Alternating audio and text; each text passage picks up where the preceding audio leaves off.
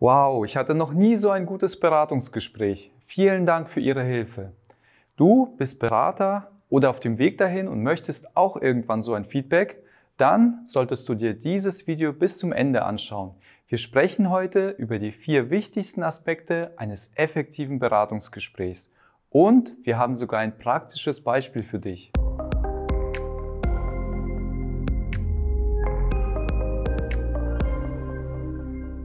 Ein effektives Beratungsgespräch ist keine Einbahnstraße. Es erfordert aktives Zuhören, Empathie, Fachwissen und vor allem eine offene Kommunikation. Lass uns diese Aspekte mal etwas genauer betrachten. Ein wichtiger Punkt ist beispielsweise das aktive Zuhören.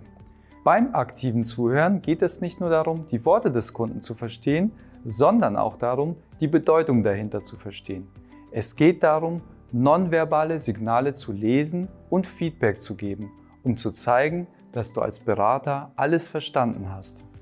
Natürlich möchtest du als ein guter Berater dafür sorgen, dass der Kunde sich bei dir wohlfühlt.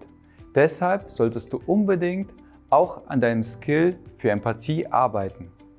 Empathie bedeutet, sich in die Lage des Kunden zu versetzen und seine Sorgen und Bedürfnisse zu verstehen. Dadurch fühlt sich der Kunde verstanden und kann offen über seine Anliegen sprechen. Das vermittelt nicht nur dein Interesse an der Person, sondern auch die Einsatzbereitschaft, dich mit dem Anliegen des Kunden wirklich auseinandersetzen zu wollen. Einerseits musst du zwischenmenschlich gut reagieren können und andererseits kommen die Personen zu dir, weil sie unter anderem auch auf dein Fachwissen angewiesen sind. Das beste Lächeln bringt dir nichts, wenn du dem Kunden keine Lösung präsentieren kannst. Als Berater musst du über die notwendigen Informationen und Fertigkeiten verfügen, um dem Kunden die beste Lösung für sein Anliegen anbieten zu können. Und schließlich ist offene Kommunikation entscheidend.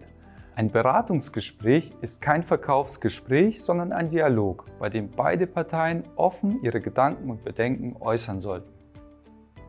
Lass uns diese Merkmale nun anhand eines praktischen Beispiels anschauen. In diesem Beispiel bringt der Kunde ein paar Einwände zu dem System, das er gekauft hat, ein. Ja, Herr Erdmann, das war jetzt unsere Produktübersicht. Was halten Sie denn davon?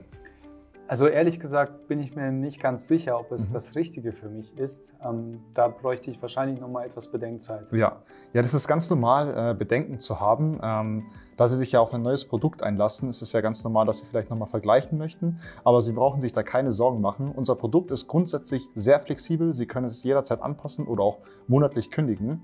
Also in diesem Fall werden Sie da auch keine Probleme haben, das umsetzen zu können.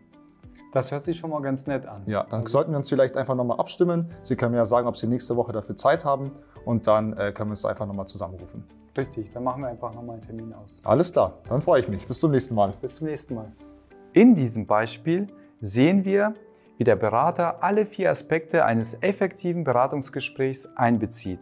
Er hört aktiv zu, zeigt Empathie, teilt sein Fachwissen und fördert eine offene Kommunikation.